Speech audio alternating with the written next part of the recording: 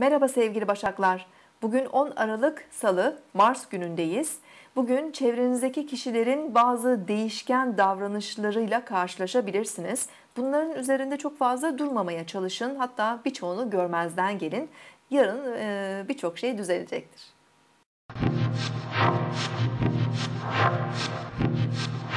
Burcunuzu dinlediniz. Bugün 10 Aralık Salı, Mars günündeyiz. Balık burcundaki ay sabah 8.42'de Venüs'le sekstil açı yapacak ve ardından boşluğa girecek. Yumuşak ve duyarlı enerjiler sabah saatlerinde özel ilişkilerimizde ve sosyal hayatımızda destekleyici olabilir.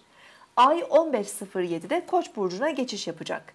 Son iki gündür daha içe dönük ve hassas olan enerjiler öğleden sonra hareketlenecek. Enerjimiz yükselebilir ve kendimizi daha aktif, sabırsız ve hevesli hissedebiliriz. Bugün Merkür-Uranüs arasında oluşacak üçgen açı hareketli, ilginç ve hızlı bir gün geçirmemize imkan verebilir. Gün içerisinde çok sayıda ilginç haber duyabilir, sürprizlerle karşılaşabiliriz. Ani bir seyahat fırsatı da karşımıza çıkabilir. Özellikle ateş grubu burçlar, koç, aslan ve yay burçları daha enerjisi yüksek, keyifli bir gün geçirebilirler.